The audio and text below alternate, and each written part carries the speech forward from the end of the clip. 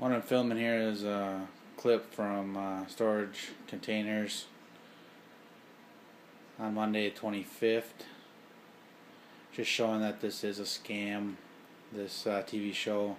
The boxes you'll see in the back on the left, the bigger ones, they got little black symbols, circle symbols. And you'll see in a little bit that uh, they're changed to Husqvarna symbols, which weren't there before. So this is a scam.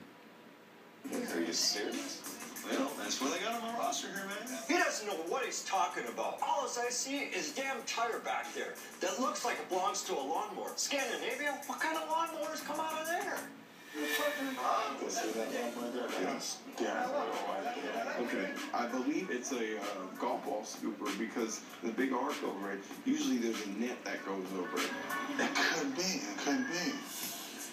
What you thinking?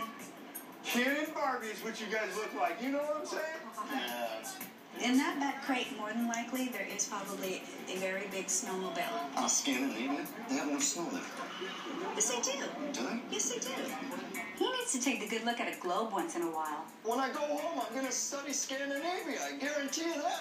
It's killing me. You can still see the boxes. it's a tractor, Still the black, five to ten uh, whatever it is behind it, circles. more machinery. You're talking thousands of dollars. Everything's going to be thousands of dollars. Right there, all of a sudden they're changed to Husqvarna symbols. It's a scam. It's set up for TV ratings, and that's it. Is everybody ready? That's what I want to hear. Who's going to give me five hundred dollars? Five hundred dollar opening day. What's seven? 1500. Fifteen hundred. All right, what about two thousand? I got, I two thousand dollar be able to put twenty five over. The twenty five over the twenty five. At twenty five, be able to put three thousand. 3,000. Three thousand. Looks like Deanna put her big girl pants on today. Now thirty five. Thirty five. Thirty five. I'll go back to the. Uh, I'll go back to it to show that it's the boxes are changed still.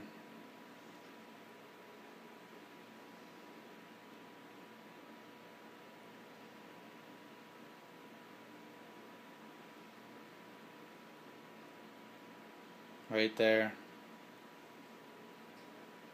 There's no way